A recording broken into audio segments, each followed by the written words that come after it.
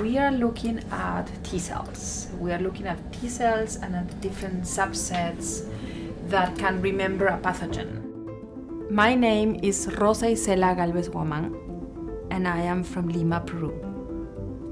The goal of my project is to understand how the immune system from individuals deal with infections at the same time. So we usually um, study one infection or the other and look after the immune response and try to understand how is your body doing with it. But in this case, we overlook that humans are not mice in the lab. A lot of infections, sometimes parasitic or chronic infections, and on top of this, they have like a viral infection that is aggressive. So the goal is to understand how the individual history of infection is modulating the response to specific pathogens, in this case, malaria and dengue.